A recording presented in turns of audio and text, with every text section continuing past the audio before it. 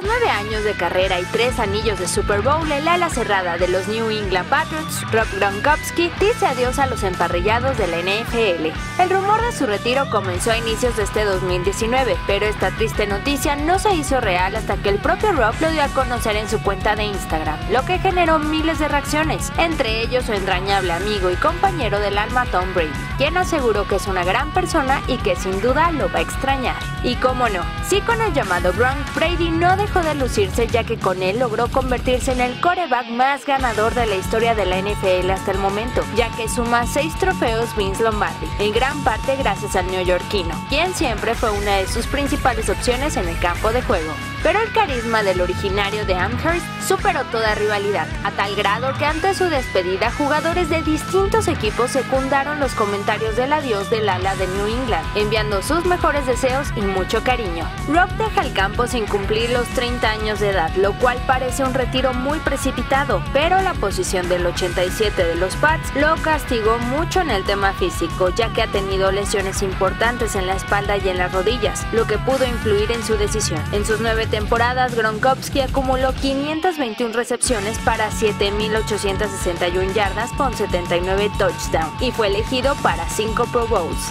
Ahora los Pats tienen un serio problema en la posición de ala cerrada, pues la salida de Gronk los mete en aprietos, ya que su suplente Dwayne Allen ya firmó con los Miami Dolphins.